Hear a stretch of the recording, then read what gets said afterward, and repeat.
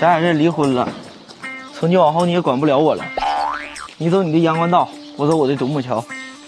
啊，我还有一个要求，车、房、存款都给你了，你还想要啥呀？要我命啊！我就想让你最后再抱我一下。抱一下？咋的？你还想弄我点钱呢？你这人思想怎么这么龌龊呢？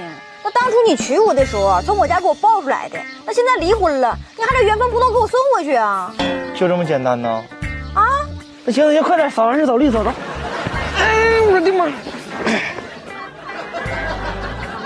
哎我，哎，哎呀，整不动了，哎呀，太沉了。这才走五十多米就把你累这样？哎，跟跟多少米没关系。哎，整不动，太沉了。那想当年结婚的时候，你把我抱二里地大车没喘一下啊？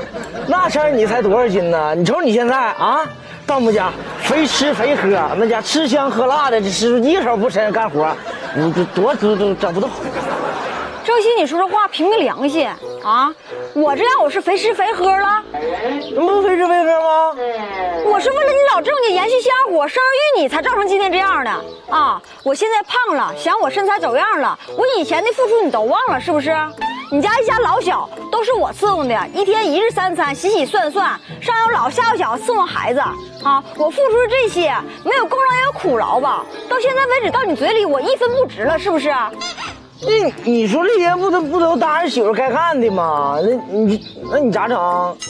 是啊，我当儿媳妇该干的，那也不至于你像你说的那样，我那么 就因为这一点小事儿，你就要跟我离婚，你咋想的，郑先？